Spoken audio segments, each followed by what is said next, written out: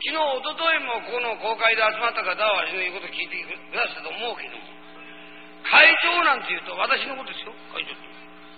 偉い人だと思うの。偉いわけがないじゃないか。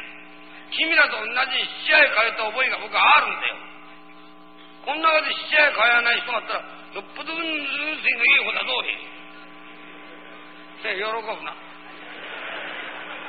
毛型の不当たりなんてさせたら僕は名人であったんだから。ね、そんな人間がだ、ね、核も幸せになったということはゴンドのおかげでしょうか。ね、そういうことをやってこなきゃ会長になれない。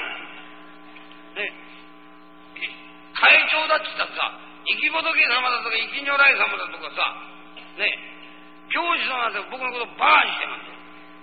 君らもね、副部長になったり、班長になったり、組長になったり、偉そうな顔しちゃダメだ。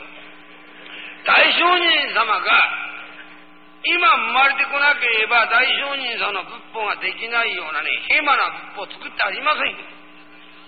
日蓮大聖人っていう御名前の御方はただ一人。ね、ただ一人日本の国を生まれ遊ばして、我々にご本尊様というのは下して、さあこのご本尊を拝め。このご運動を拝んだら必ず幸せになるおたげなすと。だから我々その通りやってる。そのやり方を教える我が輩は先生なんだ。だ僕は偉いんじゃねえ。ご運動を拝めって信仰したから立派な人間にならなきゃなんない。そんなバカなことあるもんかい。凡夫ですよ、みんな凡夫。昨日も質問にありましたが、何名もねすなわち成仏の教会はどうだってそれは病気がいいとか悪いとか。ねあれはその信仰者。いや信仰したから泥棒しいってわけじゃないんですよ。